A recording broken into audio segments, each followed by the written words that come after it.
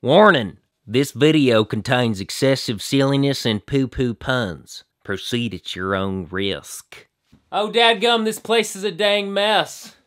So I start every new project with a clean shop. By the time I'm done with it, it looks, well, kind of like this. It's just how I roll. I should clean it.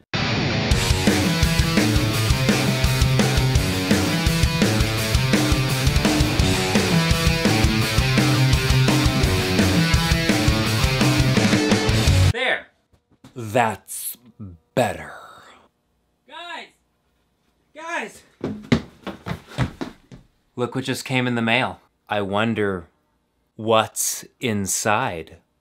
All right, pretty sure I know what this is, so let's put on our PPE first.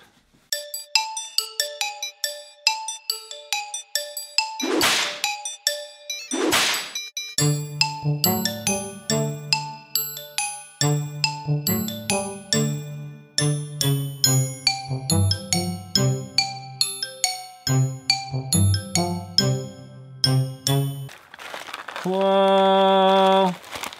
Whoa. That is cool. Oh my gosh. Let's bring this out in the light. Okay. Do you know what this is? I do. That there's Dinosaur Dookie. That is one big pile of shit. Dookie. Okay, so what's going on is there's this other channel, you may have heard of them, called What's Inside. I mean, you may not have heard of them because, you know, they're such a small channel. Uh, yeah. In one of their previous videos called What's Inside Dinosaur Poop, they asked the audience who could be able to carve it into the poop emoji. How can we turn this into this? Gotta help us, guys. And since you guys are so awesome, and you're also a fan of their channel, um, let's just say you have spoken. So, they got in touch with me and sent me some crap in the mail, and uh, that's where we are now, so... So Dan and Lincoln, I accept your challenge to turn this dookie into even more dookie. Dookie turning dookie into dookie. I say, it's like a dookie inception. Yay! Okay, so here is my dilemma. Do I make it one continuous turd, starting and swirling around like this until it whoop, which makes more sense since the dinosaur only has one butthole. But in order to make it look more like the picture, it technically should be two swirls. You can imagine if this comes this way, in order to make it back to here, it's going to have to go straight across and then curve up, then go straight across in the back, and so on and so forth. But in order to make it look like this on both sides, it's going to have to have two. So this one's going to go up and then continue on behind at a curve, to go up on the front, and then they'll meet in somewhere in the back. This one would start in the back, curve around the side, go up, and then go up to this point, and then meet up with the second. I think it will look better doing two swirly helixes meeting up. It won't make as much sense in a, you know, that the dinosaur would have to it'd be some kind of mutant two butthole dinosaur. I've never I've never had these kinds of thoughts. It's uh it's mildly disturbing. okay. Enough duty talk. Let's get down to cutting the crap.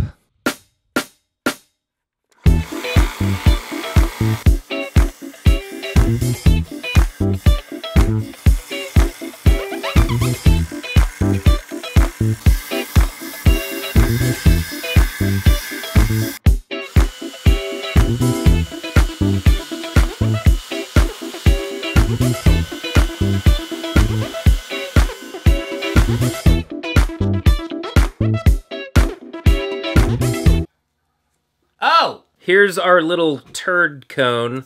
You can see if it will focus. Thank you. So this is where I have it so far. I kind of like the cracks, but, and that's the thing is I could make it really, really small and take care of most of the cracks, but then it would be really small. And I don't want it to be tiny, tiny. So what I'm gonna do is I'm gonna go ahead and fill these cracks with a two-part epoxy resin. I think that'll make it look better. Kind of have like a clear, well, clear, clear, clear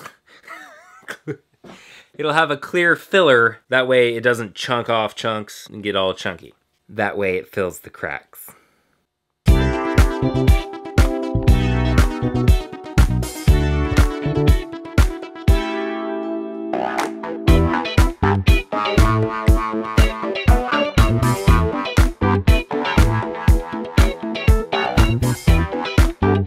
Okay, so that is gonna set and cure. And uh, in the meantime, check out this cool noise I found.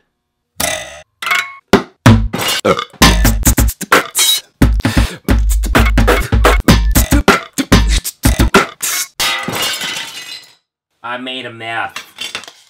Whoopsie. Okay.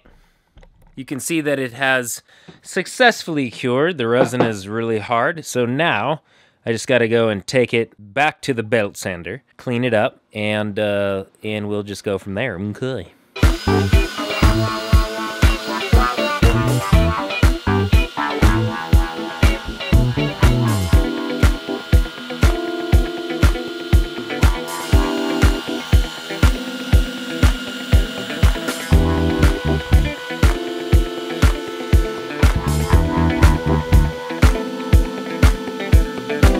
You can see that the epoxy really didn't do anything other than fill the voids. That way there's not a whole lot of big holes in it.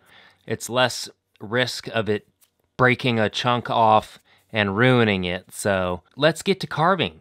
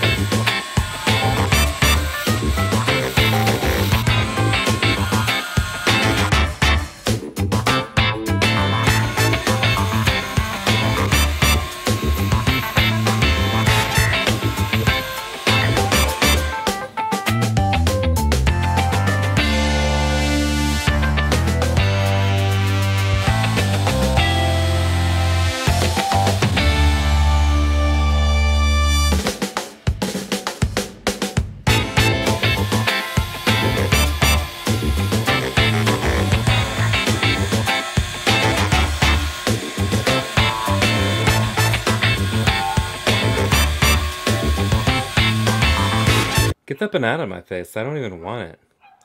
Oh, hi. okay, here's the situation that we have the turdlet in. It kind of looks like chocolate. Mmm. Next thing we gotta do is give it a ding dang old sandly sand with some sand papier. Paint the eyes and the mouth, then give it a clear coat. Then it'll be done, and then we will send it on its way back to what's inside headquarters. Let's do it.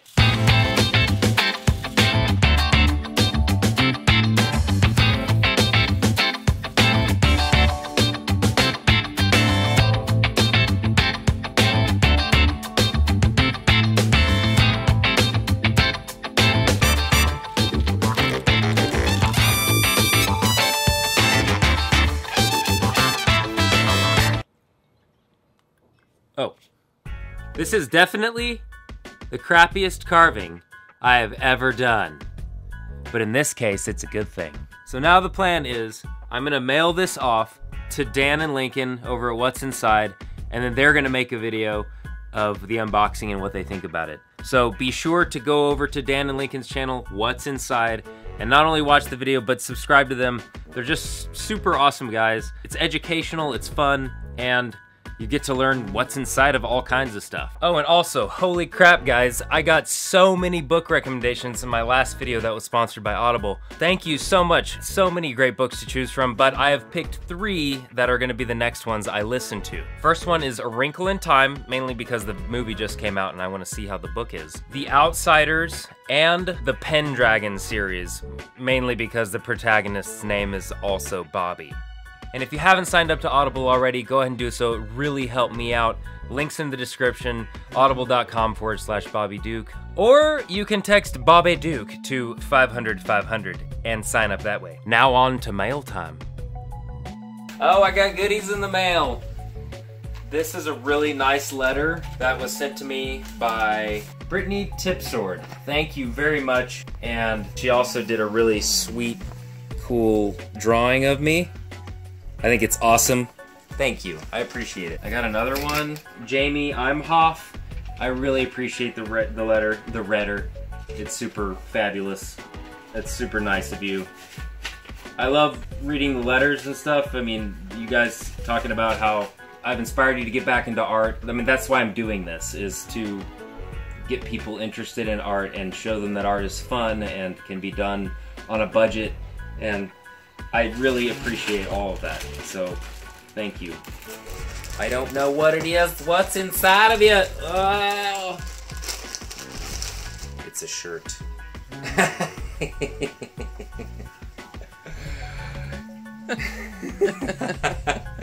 Who put the lime in the coconut? Oh my gosh, that's awesome. In fact, I'm gonna put it on now. Don't show my fat. Dude, and it fits perfectly. Hey, and it matches my shoes. awesome, thank you. I'll be running with these later. I see wood! Cocobolo, and this is uh, Western Maple Burl. Oh man, some ebony, some Gaboon ebony. This is the same blackwood that is used for the piano keys that I used in that knife video. And that was sent by Derek Tischler. Thank you, Derek. This one's from Peter Krivashki. Patrick thinks it's something for him. Really? Cool. That is so awesome. Can you see? I can't remember if stingrays have the little doohickeys in front. I think it's a manta ray. That's awesome. Oh, thank you. And there's a note. I'll read that later. This is from Haley Hayward. There it is.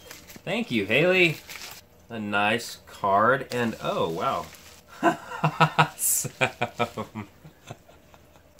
It looks like a little me. Let's see if I can do the, the face. wow, that is some fine detail. I can appreciate that. Thank you, Haley.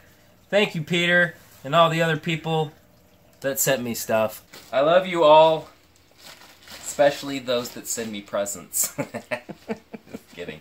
I love you all. Thank you. Ah!